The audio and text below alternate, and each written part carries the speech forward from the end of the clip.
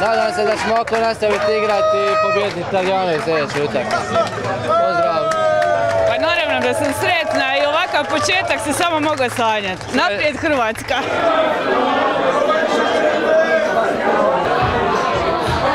What do you think about result? Fucking, I'm sorry. It wasn't great. It was bad. Really? Three dodgy goals. You guys got three dodgy goals. Very lucky. What are you going to do tonight?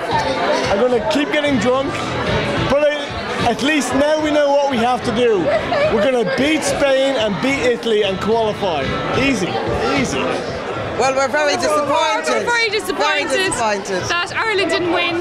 Why? We won. Uh, no, no, No. that's not good enough. No. We, we know we love Ireland and we're very disappointed. But you know, it's not over yet. It's not over yet. Two more games. Two more games to Two go. more games.